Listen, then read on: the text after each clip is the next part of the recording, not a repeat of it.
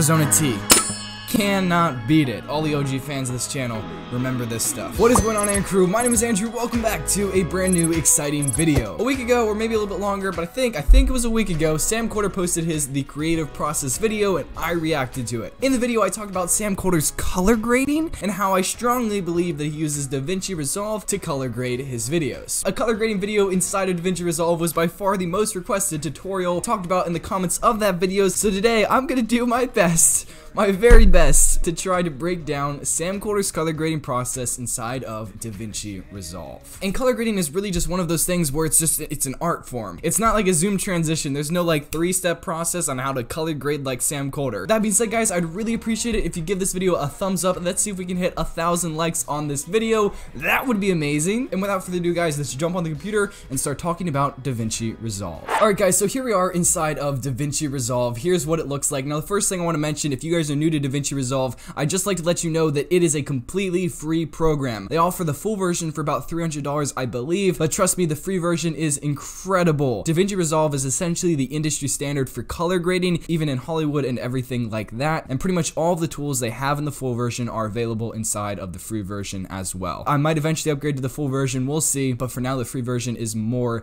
than enough. So the first thing that we need to do is we actually need to import some clips into our media pool. To import some clips, I'm going to go to the media tab and I'm going to go through and navigate to where my files are stored. Now that I've navigated to them, I right clicked and hit add into media pool and now I can go to the edit panel and we can just start chopping up these clips. Now if you guys want to integrate DaVinci Resolve into your Premiere Pro workflow, then you can use things like XMLs to actually export your footage from Premiere Pro, bring it into DaVinci and then round trip it back into Premiere Pro, but that is an entirely different tutorial. So in this case, I'm just going to go ahead and link some other people's tutorials covering that topic down in the description below. If you guys are wondering how to do that, just check out those tutorials. Alright, so now that I've got this footage, I'm just going to start going through and choosing some selects. This works extremely similar to Premiere Pro you just select what you want and then drag it in. Alright, cool, so I've got these four different shots, and by the way guys, as always, I'm going to have these linked in the description below if you guys want to download these and follow along. But once you've got the clips lined up in the timeline how you want, but we're going to move from this editing panel, head over to the right, and go to the color panel. Once you're in the coloring panel, everything's probably going to look different. The main thing that's really going to throw you off is this little panel right here. So DaVinci uses a node-based grading system and a node-based compositing system inside of Fusion. The nodes are kind of difficult to explain. The best way to understand them is sort of just to mess around with them. But essentially the way I think of it is like a circuit. This is the in point, this is the out point, and everything in between sort of filters through and changes your image. Now the first thing I want to show you guys real quick is how to add LUTs to your videos. I'm starting to get into making LUTs, so I made a quick one for this video, sort of in the style of Sam Kolder. The LUT is completely free, you can download it below. I'm calling it the Legend LUT. I would never charge money for it because it is so far from being professional, but if you guys just want to mess around with it, there will be a link down below. But to add some LUTs, DaVinci Resolve has this really nice LUTs panel. So if we go over to this LUTs panel, you can see all these different LUTs that we've got loaded in. A bunch of these will actually come with DaVinci Resolve. So if you go to Sony, we can hover over and you can see it's going to start adding these different LUTs to the video. What I'm going to go ahead and do is add my Legends LUT to this panel and it's super easy to do. Just go up to File, go to Project Settings, Color Management, and then hit Open LUT Folder. I went ahead and made a folder for the Legend LUT and added it in right there. I can close that folder and hit Update Lists. And there you go. Now you can see right here, we've got the Legend LUT. And if we hover over there, you guys can see we've got the LUT right there. I'll go ahead and drag it over, and now we've got the LUT applied. I'm gonna go ahead and rename this the LUT, and there you go, that looks pretty good to me. So I just wanna show you guys how to use the LUTs real quick, but I'm gonna go ahead and delete this layer. I'm gonna go ahead and add another node by hitting Alt-S on PC. I'll rename the node Correction. I'm gonna drag this down, and I'm gonna name this saturation. And this was shot in the log format, so we're just going to try to bring back in some saturation. Now, a super important thing to make sure you do is bring up your scopes. To bring up scopes, I hit Control Shift W on PC, or it's Command Shift W on Mac. And here are our scopes. Now, there's four different scopes. We've got the waveform, the parade, the vector scope, and the histogram. For now, for the saturation, we're going to be using the vector scope. And now there's two different ways to saturate your image. You could go down to this panel right here and just drag it up, but I've heard that a better way to do it is to go to the RGB mixer and drag up the red channel, drag up the green output, and drag up the blue output. And that saturates it up, and I've heard, I don't know if this is true or not, but I've heard that it's actually better for the image. And now I did that pretty quick, but if you look over at this vector scope, you can see sort of these dots on the screen. I'll go up to the controls and I'll make it brighter so you can see a little bit better. This is showing you how much saturation there is in the image. And now you never want the saturation to go beyond these squares right here. That means your image is oversaturated and you're starting to clip. So right here you can physically see the clips. We're too saturated and we're starting to lose some detail in the pixels. So what I like to do is go all the way up to where we start to clip and then just slowly drag it back until we have it as saturated as possible without losing any information. Somewhere about right there looks pretty good to me. That might be a little bit much for some people, but that looks about right for me. Now we're gonna add another node and I'm gonna name this node balance.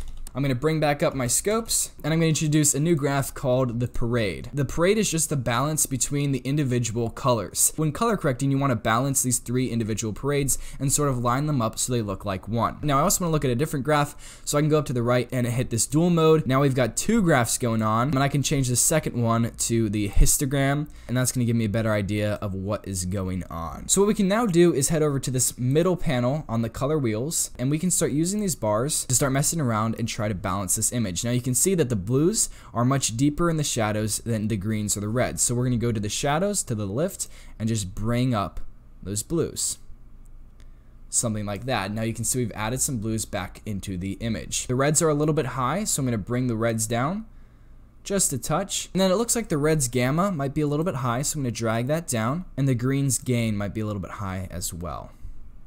So there we go, a more balanced space for us to go from. The next thing I'm going to do is add one more node, and this is going to be the last node for color correcting, and this is just going to be our luminance node. Here I'm just going to mess around with the brightness and contrast, so I'm going to do a bit of an S-curve. I'm going to drag the highlights down just a touch. That might be a little bit too contrasty for some of you, but I like a punchy image, so I'm going to leave it like that. And then if you want, you can head over to the color wheels, and if you go down to this wheel right here and drag to the left or the right, you can see that's going to mess around with our lift luminance, I'm going to bring that down just a bit. We'll go over to gamma and bring it up a touch. And then the gain will bring down just a little bit as well. And then to turn off all the nodes, you can hit Alt D on PC or Option D on Mac. So you can see we've already done quite a bit to bring this image back in, make it a lot more punchy, a lot more beautiful, in my opinion. And that's just the correcting process. So now we can move on to our grading process. I'm going to add a new node, and you kind of want to mess around with your node tree, find what works for you. What I'm doing right here is sort of a zigzag motion. These four squares are going to be my color correcting, and then down here, I'm going to do the same thing, except it's going to be for the grading. I'm going to go ahead and name this node wheels and we can start messing around with these individual colors. I'm gonna go ahead and name this node hue and I'm gonna do a bit of messing around with the hues in the colors. Now, now it's a little bit confusing, but to go to the hue tab, you have to go to the curves, which is right here, and then you click this little dot right here, and that's gonna bring up your hue versus hue option. Let's say we want to change these oranges to make them a little bit more orange, a little bit deeper. You can either select two different spots in the map and then start bringing it up like that, or if you want to be super specific, you can just go up and select the color, and it's gonna automatically automatically tell you where that color is inside of this graph. And I'm not going to mess around with these too much. I think they're about the right color, honestly, that I wanted. Just going to drag it down just a touch. Cool. And then I'm going to go to this blue color right here, and I want to make it a little bit more tealy, a little bit lighter. Not too much, but just something like that. Now, if we go to the next tab, we can do hue versus saturation, and I want to try to get rid of this sort of purpley color right here, so I'm going to select it, and we'll see if we can just drag that down, and there you go, you can see we're getting rid of that color. Um, it's not getting rid of quite enough, so I'm going to drag this over, and that should extend the range a bit. There we go, that's getting rid of most of it, and then the final tab I'm going to mess around with is the hue versus luminance, and we can just select one of these colors here, and we can mess around with how bright it actually is. I want to make this affect a little bit more of the image. Let's see. I kind of like that poppy contrast right there. I'm to go back to that color and drag it down just to make it a little bit darker and drag it about right there. I'm to go ahead and add a new node. I'm to drag it underneath and I'm to name this wheels. And we're to do a bit of that classic Sam Kolder orange versus teal. What I'm to do is add a little bit of blue slash teal. In the gamma, I'm to go ahead and add some orange back in. And then once again, in the gain, I'm to add back in a bit of that green. As you guys can see, everything is super subtle. You don't want to overboard anything. I'm going to add another node. We'll name this curves. And we'll go over to our classic curves. We're to go to our red, and we're to put a little bit of green into the shadows. And that's to blend with the blue to make it a little bit more green. We'll go over to the blue, and we'll bring up the blue a bit. All right, cool. So I just made some slight tweaks right there. Nothing too fancy, but there we have it. And I think we are about done with this image. So here is the before and here is the after. As you can see, we've brought in so much more detail. We've added some blue into the shadows right there, brought some orange into these leaves. The Sam Kolder shot that I think this kind of looks like is a shot of his hand over the fire. You can see he's got those blues in the shadows, he's got the orange of the fire, so that's sort of what this just reminded me of. Now, one super cool thing that you can do is if you want to sort of save this as a preset, as an instant LUT and apply it to your other shots, you can right click on the frame and you can select grab still. If we go over to our gallery, you can see we've added it right there. Now check this out. If we go over to this clip right here and we select it, as you can see, we've just applied all the information to this clip. Another super cool thing you can do is if you double click on this still, Check this out. Now we've got what's called the reference wipe. Reference wipes are super important for color grading. It's really important to match the shots inside of your videos. If the color grading looks completely different from shot to shot, then it's just gonna be jarring and throw your audience off. So this is a great way to sort of match the color grading to your shot. And when we drag over the still and drop it on there, you can see it adds in all the nodes automatically and we can start adjusting them. But if you want to turn off the reference wipe, you can go down to show reference wipe and just turn it off. And now one thing I do want to show you guys is how to track. This is probably the last thing we're going to cover, but I'm going to go ahead and add a node right there. I'm going to go over to this masks panel and we're going to add this circle mask right there. Um, we can feather it up a bit if we want. And now let's say we just want to make an adjustment and just apply it to the sun. We need to track it somehow because this is a moving shot. So we go to the frame that we want.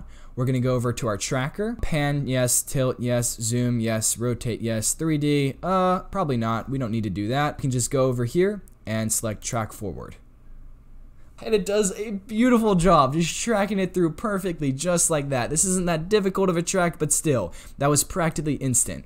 Um, we'll go back over a bit to about there and we'll track backwards and there we go. So now if we go over and we make adjustments, check this out. It's just affecting what's inside of that circle and it's already tracked. So I'm gonna mess around with some of this, see what we can do. I'm gonna add in a ton of orange I'm gonna add in some fiery red right there. That looks awful. The red looks totally jarring, but as you guys can see, just tracked this so easily. And there you guys have it. That might have been a bit of an information overload, but I sort of just wanted to do an overview of DaVinci Resolve as a software. I strongly encourage you guys to download DaVinci Resolve. It's free and it truly is, I believe, the future of editing. I wouldn't be surprised if in like a few years, everyone's just switching over to DaVinci Resolve. And it's free. This is free. Industry standard color grading software, completely free. Blows my mind mind. If you guys end up using the Legend LUT in your Instagram videos, then tag me on Instagram at AndrewJMES. I post Mondays, Wednesdays, and Fridays, and usually Saturdays every single week, so be sure to turn on post notifications so you never miss another upload. Thank you guys so much for watching this video. I really do hope you guys enjoyed it, and I'll see you in the next one. Peace.